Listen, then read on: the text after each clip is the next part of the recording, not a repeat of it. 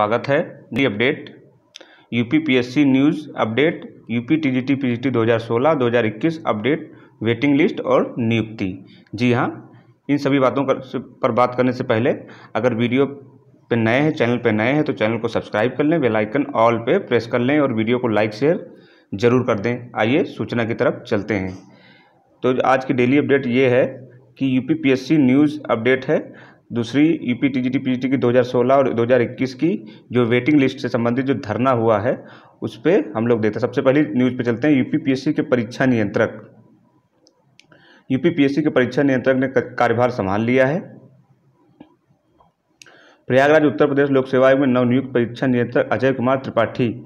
अजय कुमार तिवारी ने सोमवार को अपना कार्यभार ग्रहण कर लिया है। इससे पहले वह मुजफ्फरनगर में एसडीएम वित्त राजस्व की ज़िम्मेदारी लिए हुए थे संभाल रहे थे। अब तक आयोग के परीक्षा नियंत्रक रहे अरविंद कुमार मिश्र को मुजफ्फरनगर में एसडीएम वित्त एवं राजस्व के पद पर भेजा गया है। तो अब परीक्षा नियंत्रक महोदय आ गए हैं। कार्यक्रम अब जो यूपी जो यूपी पीएससी के जो परीक्षाएँ हैं और जो कार्यक्रम जो रिज़ल्ट लट, लटके हुए हैं उनमें कुछ तेज़ी दिखाई पड़ेगी।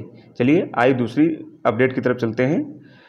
कल वेटिंग लिस्ट वाले अभ्यर्थियों ने नियुक्ति के लिए धरना दिया। चयन बोर्ड में टीजीटी पीजीटी 2016 और 2021 के तहत रिक्त पदों पर मांगी नियुक्ति।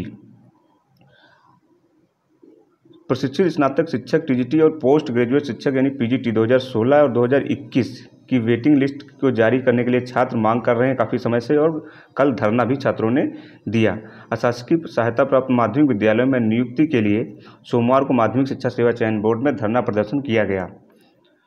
अभ्यर्थियों ने अधिक पदों पर अवशेष पैनल में चयनित अभ्यर्थियों अभ्यर्थियों को नियुक्त प्रदान करने की मांग की। उनका कहना है कि बड़ी संख्या में अभ्यर्थियों ने चयन के बाद ज्वाइन नहीं किया। बहुत, वहीं बहुत से अभ्यर्थी ऐसे हैं जिनका चयन टीजीटी और पीजीटी दोनों के लिए हो गया था। ऐसे में बड़ी संख्या में पुरानी भर्तियों के पद रिक्त पड़े हुए हैं और इन पदों पर वेटिंग लिस्ट वालों को नियुक्ति मिलनी चाहिए। अभ्यर्थियों का कहना है कि इस बारे में अब उप मुख्यमंत्री ब्रजेश पाठक और शिक्षा मंत्री गुला देवी ने से मुलाकात की गई थी।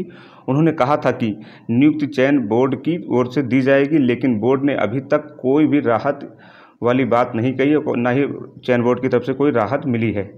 तो फाइनली वेटिंग लिस्ट जो जो छात्र इंतज़ार कर रहे हैं 2016 और 2021 की परीक्षाओं में जिन्होंने परीक्षा दी थी और वो वेटिंग लिस्ट में जो थे और वो लोग वेटिंग लिस्ट का इंतज़ार आज भी कर रहे हैं और चयन बोर्ड ने इस इस पर कोई अभी तक ध्यान नहीं दिया है और ना ही कोई इस पर कोई वक्तव्य भी जारी किया है। तो इसलिए कल छात्र नाराज़ होकर कल चयन बोर्ड का घेराव किया और वहाँ प्रदर्शन भी किया और लिस्ट जल्दी से जल्दी जारी करने के लिए मांग की उन्होंने। तो ये रही अभी तक की टी टी टी और यू की लेटेस्ट डेली की अपडेट चैनल पर नए हो तो चैनल को सब्सक्राइब कर लें बेलाइकन ऑल पर प्रेस कर लें। धन्यवाद।